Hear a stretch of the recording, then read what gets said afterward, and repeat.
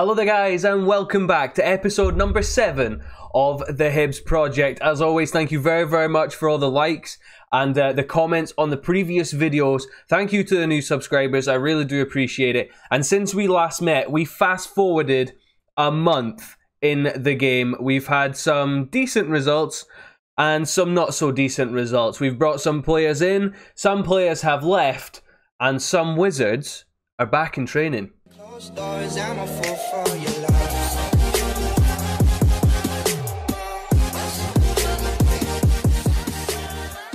And since we last met, then it was the Betfred Cup final loss to Celtic and the 1 1 draw at home with Motherwell. And I know you can see on your screen, since we've last been together, one, two, three, four, these two don't count, but six draws in total since we last met. One win against Hearts, some would say the most important fixture. We won 3 1 against Hearts, but other than that, St Johnstone, Celtic, Livy, and Ross County in the league draws, and uh, two friendlies that we played before we play Caley in the Scottish Cup fourth round today.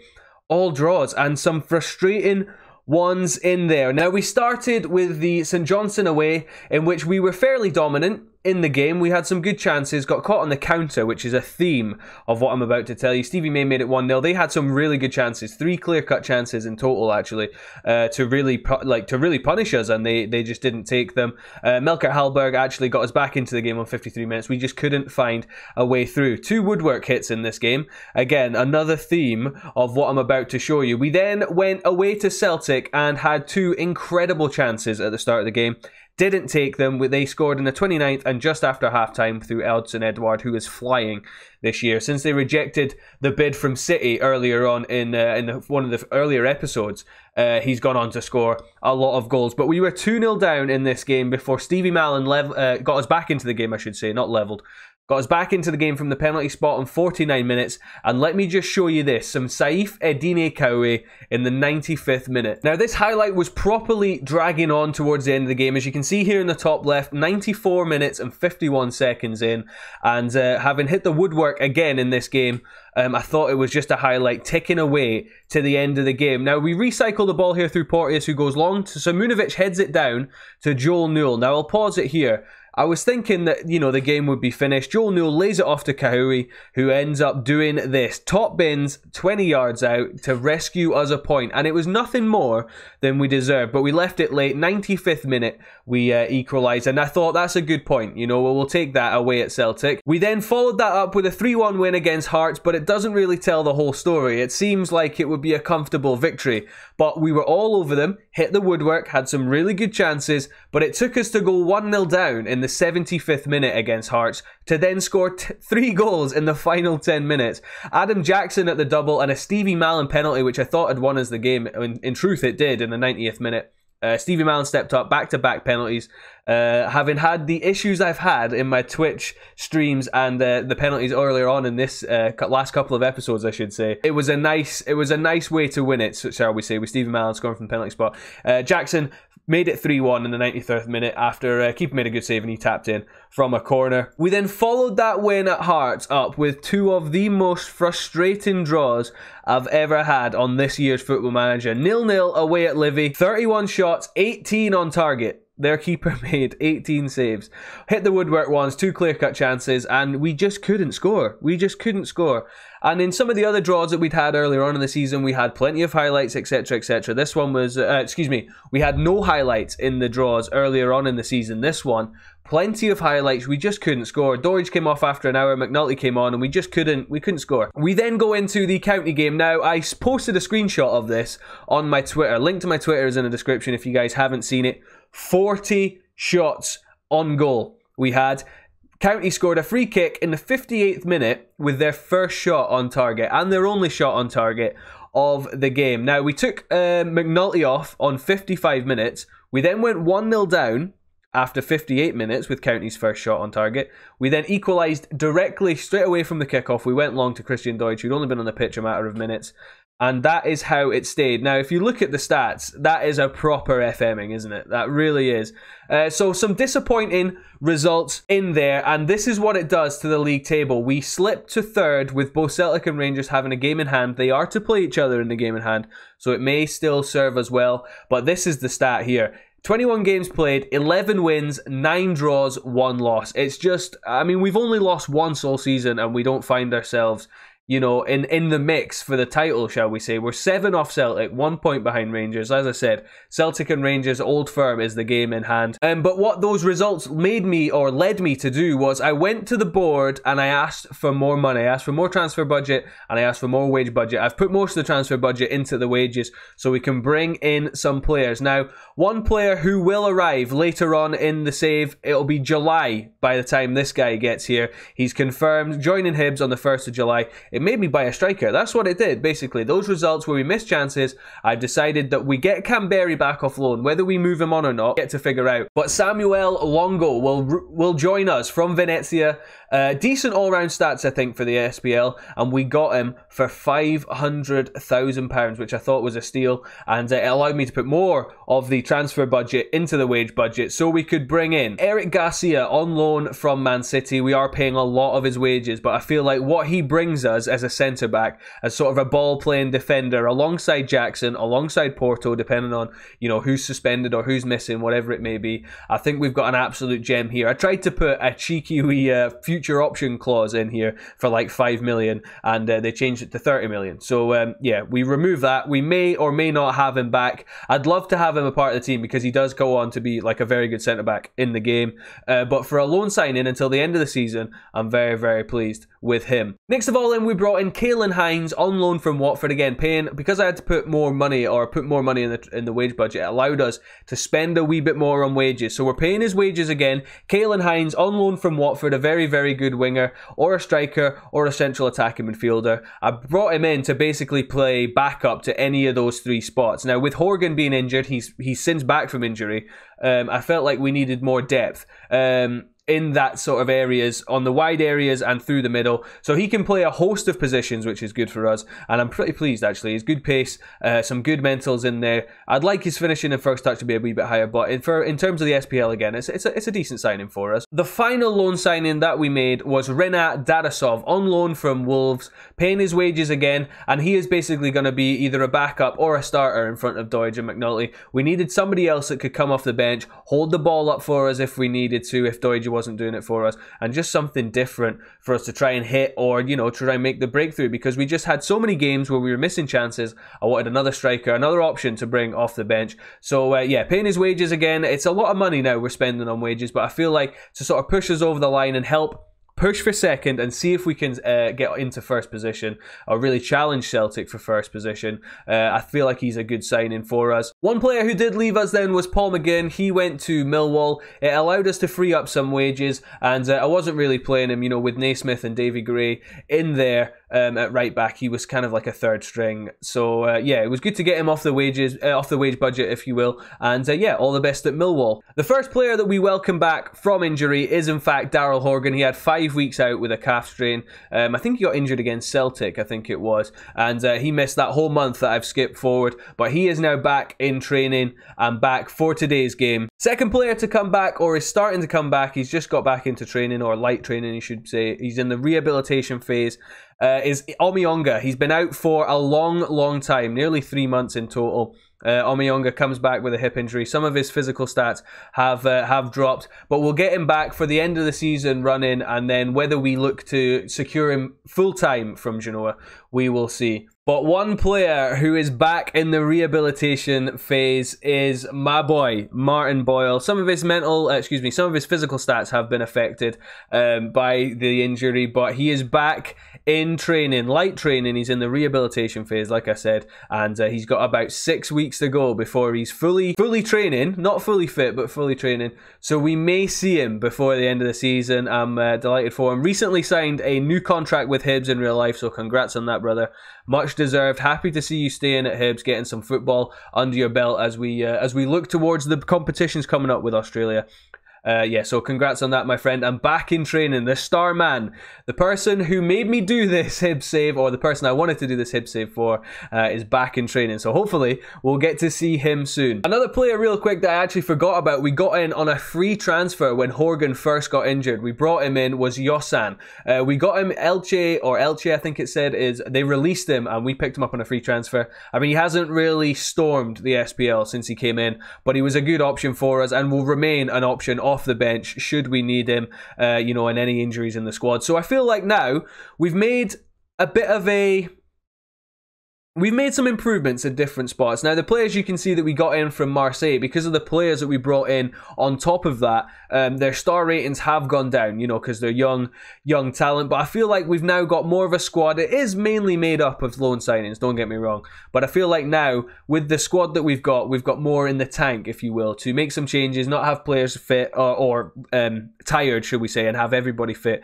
to challenge on all fronts, because we've still got the Scottish Cup to go after. Hopefully, we don't mess that up today in our first first game uh, on video of the Scottish Cup. We have played Caley already this season. We played them in the Betfred Cup earlier in the start of the season. Um, but yeah, this is uh, I'm looking forward to this now because we've got more strength and depth, like I said, and uh, yeah, looking forward to next season already. And this will be the team that takes on Caley at home today in the Scottish Cup fourth round. We bring in Dabrowski, Marciano still struggling with um, with a wrist injury. He should be back to full training soon. But we go with Dabrowski in goal the back four of Davy Gray, Jackson, Garcia comes in instead of Porteous, and Nkuku continues at left back. Hallberg and Mallan in the middle of the park. Horgan one side, Curtis Jones the other. Khaoui in advanced playmaker role behind Christian Doidge. And uh, yeah, I'm looking forward to getting back to some sort of normality. Now, there have been a lot of draws so far, and you all saw them at the start of the video, but hopefully there will be no draws today. Now, Easter Road plays host to this cup game. I'm looking forward to getting underway in the Scottish Cup. Uh, it should be quite good. Hopefully, we get another cup run because you do get some money from the cup and it will help us in the long run. So here we go, underway. Hibs versus Caley, and uh, the first time we get to see Eric Garcia making his competitive debut for us today. We do have players on the bench that we brought in. Dadashov and Hinds are both in there. Um, so should we need them, we can look for them here. As Cal, uh, Caley seemed to have the first chance, and Dabrowski makes a good save. There was no offside there. That's, oh, he was offside in the end. It was called back, but Dabrowski didn't know that and made a good save. 25 minutes in then, and we haven't seen anything from us. Uh, no chances really. This is uh, it's been a theme of the draws was that we were playing well making chances but just not taking them. And so far today, we haven't had a chance. But maybe we can have one here as we build from the back. With Dabrowski, who finds Jackson into Hallberg in the middle of the park. Now, Khaoui is very deep there. I would rather he was up closer to Christian Doidge. But Mallan to Jackson, out to Horgan. It's good to see him back. We have missed him, and I think him in that role, as Hallberg goes for a strike and Rogers makes a good save, but having him out on that wing, having a different option to bring off the bench, um, I think it probably cost us in those draws. As we approach half time here, there is a chance for us. Davy Gray now throws it to Mallan, gets it back from him, and Mallan gets it back again. And Jones goes in. Another assist for Stevie Mallan. And Curtis Jones Starts us off here, gets the breakthrough, Hibs 1, Caley nil. We work it quite nicely here, Gray to Mallan, to Gray, back to Stevie Mallan, and another assist for the Wizard, who, in the last episode, I said that um, Roy Hodgson was after him or was looking at him was at our last game. Roy Hodgson has since been sacked by uh, Palace, and uh, Stevie Mallan he continues to be our player for now, and hopefully we can keep him for a long time. So half time then, and the stats again it shows with this formation and this sort of style that we're playing, we dominate most of the games, but today we've taken our chance and we lead one 0 Now I'm going to say we've got to guard against complacency because um, yeah things can change if you let your performances dip. They seem happy with that and we'll get underway then. Uh, like I said before, Horgan just back from injury, so his condition is not great. We will look to change him. We'll probably bring on Hinds, our new player from uh, from Watford on loan, and uh, in fact, I'm going to do that on the hour here. Horgan off, Kaylen Hinds on. Kaylen, show me something. Show me why we brought you in. And as we approach 70 minutes here, I'm going to bring on uh, here as the uh, pressing forward. We haven't seen anything in this second half, and Doidge was starting to struggle. So uh, yeah, we are into the last 10 minutes here, or we're getting there. And Caley come forward here, but we intercept and take it, and we can break away here with Curtis Jones. Now, he's got Nkuku to his left if he chooses to use him. He does. Nkuku now. I thought he'd almost lost it there, but he kept it. Now Mallan goes back to Garcia. Garcia going to go back to Jackson, and out wide now we go to Nkuku. And Nkuku on this side, can he get the ball in? And Dadashov goes close almost a debut goal or a competitive debut goal because he played in the two uh, sort of winter break friendlies, if you will, uh, but no goals for any of the new signings in there. And Nkuku now finds Mallan in the middle of the park and Garcia. Lovely ball out to Curtis Jones. Now, Curtis Jones, can he get a ball into the box? He can towards Hinds at the back post.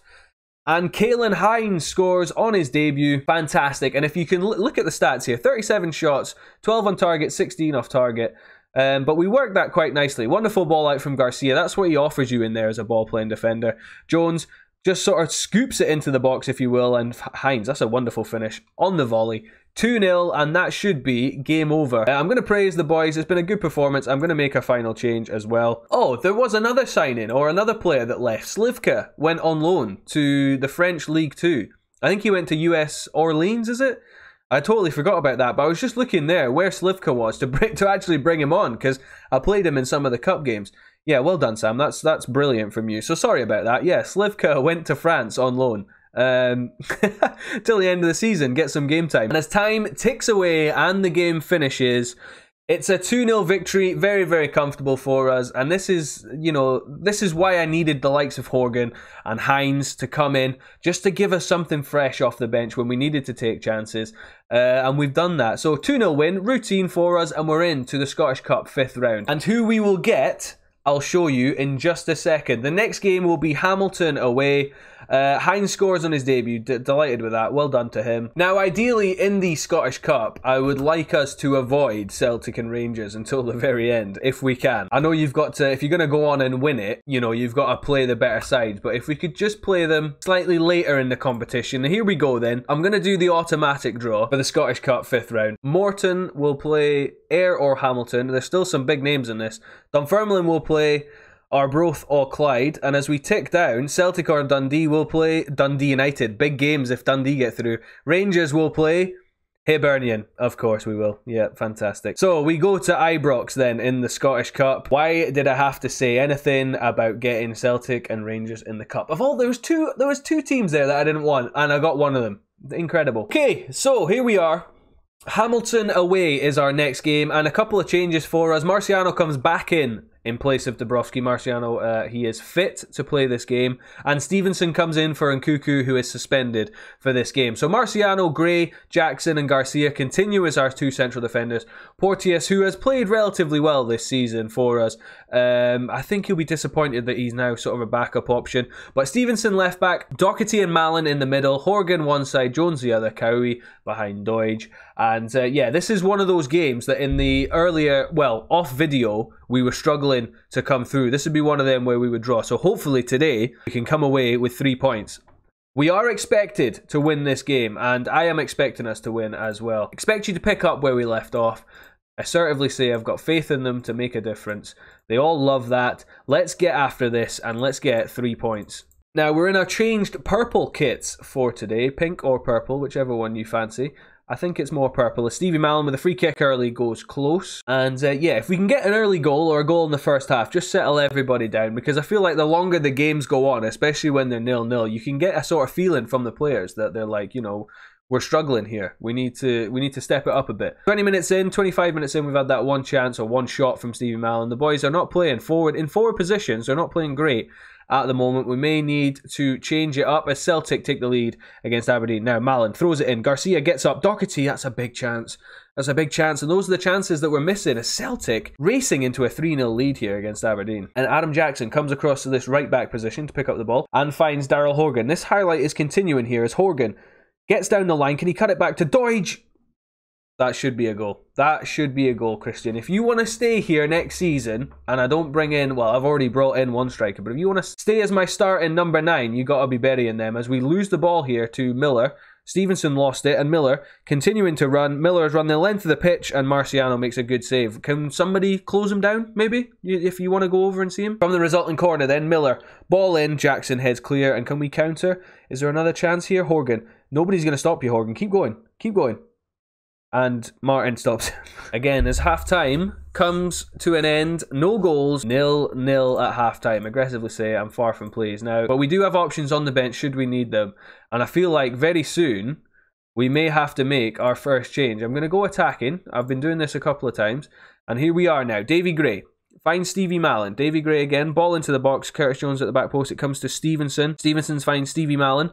And back out to Curtis Jones and Stevenson. We're working this well around the edge of the box here. Can we get a, a telling ball into the box? Stevenson now. It hits the defender back to Eric Garcia. And now Mallan. Over the top towards Horgan. That is a nothing ball from Stevie Mallan. It's not like him as they go back to the goalkeeper and they play it out very, very nicely here. Launches it forward. Jackson wins the header. Easton gets onto it, and Hamilton now, maybe this chance is for them. And a ball through the Miller. Ball through to Miller. Miller with a good. Ah, I couldn't even talk. But what's happened is the ball's gone through the middle. Miller hits a shot. Marciano saves. And it falls to Adam Idah, who scores his first goal of the season. Of course he does. And I was so perplexed with what the hell was going on that I couldn't talk, and we're 1 0 down, having had the entirety of the game. And this is like these are the games that we should be winning. I'm going to make all three changes here. This is going to be bold. Dadashov is coming on as a pressing forward. Uh, I'm bringing Cowie off. Curtis Jones can go at centre attacking midfield, and I'm bringing Josan on on this side. This is what's happened. This is what kept happening off video. We just we're just not good enough. And I thought that with the squad that we had put together, you know, with the, the loan players that we brought in, that we may it may change our fortunes round, but at the moment it really hasn't. And Curtis Jones now finds Daryl Horgan. Horgan can hit those and it goes wide and we're never going to win a league. We're going to be 10 points behind Celtic if we don't get something out of this game. And these are the games that have been frustrating me since the start of uh, since the, since the since I last left you. Stevenson now gives the ball away to Idah and Marciano makes a good save. And Stevenson, if Nkunku doesn't play, I don't, I can't rely on Stevenson. Like I don't know why. And uh, with seven minutes to go here, it's going to be another tale of just not good enough. Unfortunately.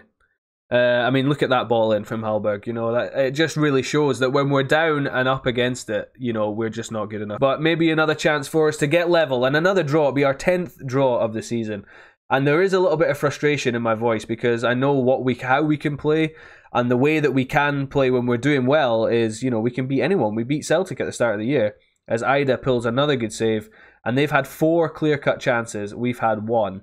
We've only had four shots on target the whole game, and we're going to fade here to a 1 0 loss to Hamilton. And honestly, as our second loss of the season, I am very, very disappointed with that. Um, so yeah, 22 games played, 11 wins, 9 draws. That's only our second loss of the season and it's just a massive kick in the teeth. In terms of the league, it puts us 10 behind Celtic and 4 behind Rangers.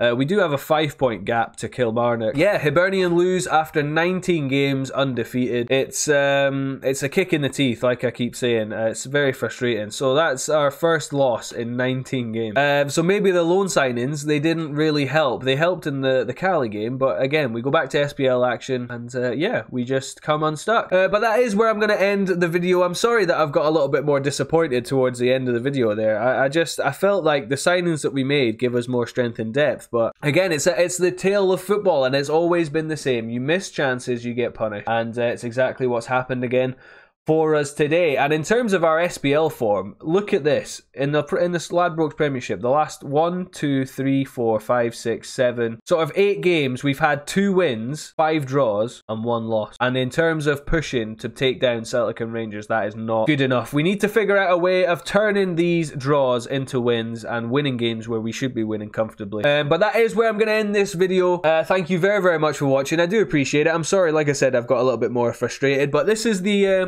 the ups and downs of Football Manager shall we say. So uh, if you've enjoyed today's video and you think that, uh, you know, the signings are going to be decent, although we've not shown their best today, uh, moving forward, I think we've got a decent squad where we can hopefully finish third and then for next season push on again, because I think that's probably where we're at right now. And the next time we will meet then will be the game against Rangers at Ibrox in the Scottish Cup. I feel like that'll be a good, a good game for us to come back to. We'll play Rangers away from home and then we'll play St Johnstone at home. We'll kick on another four matches as we look towards the uh, the split, if you will, in April um, yeah, thank you very, very much for watching. I hope you do you have enjoyed it. If you have, please do not leave without leaving a like. I appreciate all the uh, support, the new subscribers, the uh, the likes and the comments on the videos. I really do appreciate it. So yeah, leave a like, subscribe to the channel if you happen to be new. And until next time, guys, thank you very, very much for watching. I do appreciate it. See you later.